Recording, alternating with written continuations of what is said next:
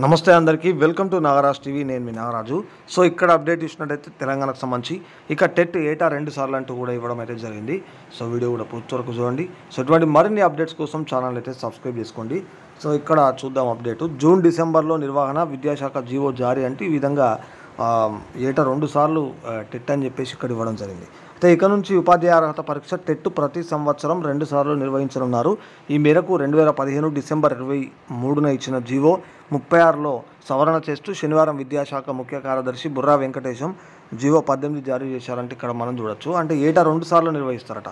So ఇక్కడ ఏటా June డిసెంబర్లో పరీక్షను జరుపుతామని అందులో పేర్కొన్నారంటే ఇవ్వడం జరిగింది. సో ఇక్కడ ఏటా ఒకసారి టెట్టు నిర్వహిస్తామని రెండు వేల పదిహేనులో జీవో ముప్పై ఆరు జారీ చేసిన ఇప్పటి వరకు ఐదు సార్లు మాత్రమే పరీక్ష జరిపారు. రాష్ట్ర ఆవిర్భావం తర్వాత రెండు వేల పదహారు రెండు వేల పదిహేడులో నిర్వహించారు.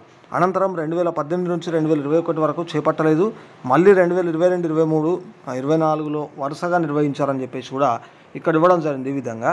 సో ఉమ్మడి రాష్ట్రంలో రెండు వేల పదకొండు రెండు వేల పన్నెండు రెండు సార్లు రెండు వేల పద్నాలుగులో టెట్ జరిగిందంటూ ఈ విధంగా ఎప్పుడు జరిగింది ఏందని చెప్పేసి ఇక్కడ చూడొచ్చు.